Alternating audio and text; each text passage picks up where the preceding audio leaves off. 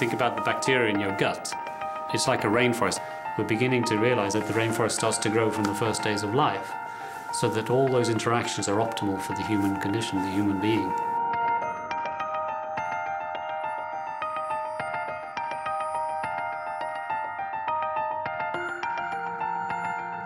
The flora is not well established.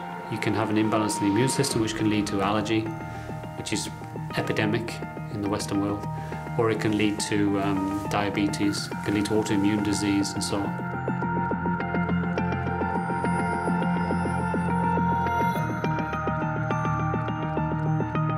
The hygiene hypothesis is a, um, a major hypothesis which really says that our Western way of living, the modern way of living, is very clean. It means that our babies, in the early years of their life, they're, let's say, not exposed to a natural bacterial environment. And those bacteria are triggers for the immune system of the baby. A little bit of dirt doesn't hurt.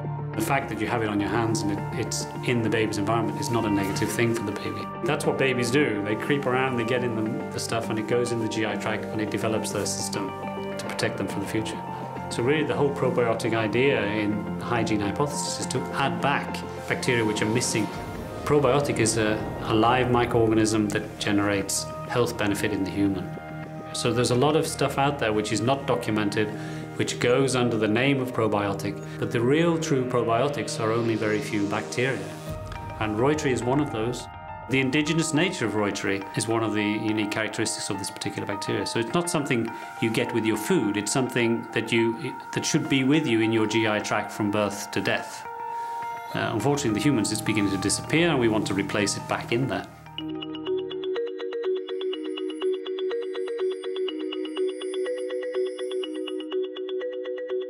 The studies of Reuteri began in the early 80s when Professor Reuter from Germany uh, actually defined or described the bacterium as such, and research has been going on since then.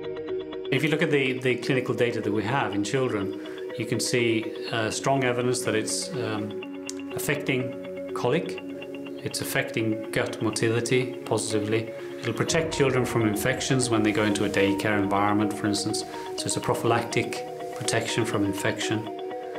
We have data which is indicating that it's affecting the immune system in children uh, such that it's preventing potentially long-term allergic disease. And we have uh, data that if you have a child that, for instance, are being treated with antibiotics, that you can um, improve the outcome of the child, that is to say, improve symptomology. The rise in clinical data with probiotics is very is exponential now. It's growing very, very rapidly. And the physicians in the US are not only seeing that data, but they're also taking part in those studies now themselves. And that in itself is generating awareness of Reuteri in the US. So you have all these things, so the, the physicians begin to say, okay, we know it's doing all this stuff, why would you not give it? It is extremely safe. We've been searching the literature for all the years we've been doing the research. We never see any, uh, um, let's say, true adverse events of Lactobacillus reuteri in babies, adults, children, or anybody. It's a natural bacteria. It comes from the breast milk of a mother. 12 to 15% of mothers have Reuteri in the breast milk. And it's in our environment. So it's not a dangerous thing in any way. Uh, and that's also a very important point. So there is no real reason not to use uh, the in infants.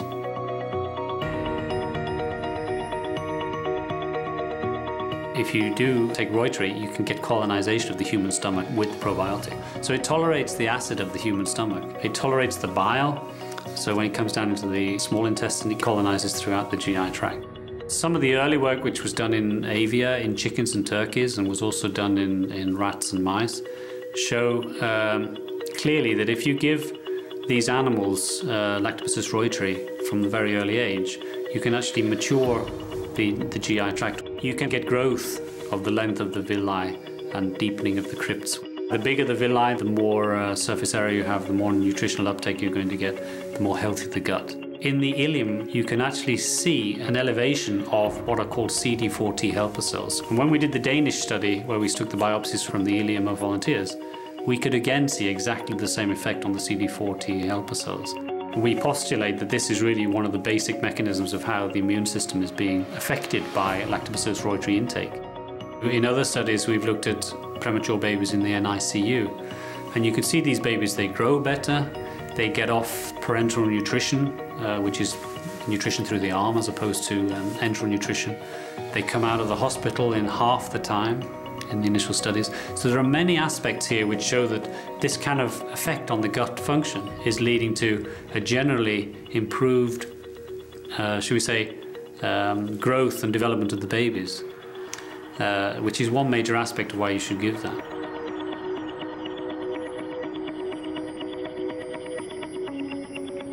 One of the unique characteristics of Reuteri is its ability to produce Reuterin. When Reuterin comes in contact with the pathogen, the pathogen becomes sensitive to that Reuterin. So Reuterin will actually inhibit the growth of or kill the pathogen, whilst not affecting uh, the commensal, what we call the commensal bacteria, the good bacteria, so that you get this change in, in good to bad ratio in, in the GI tract.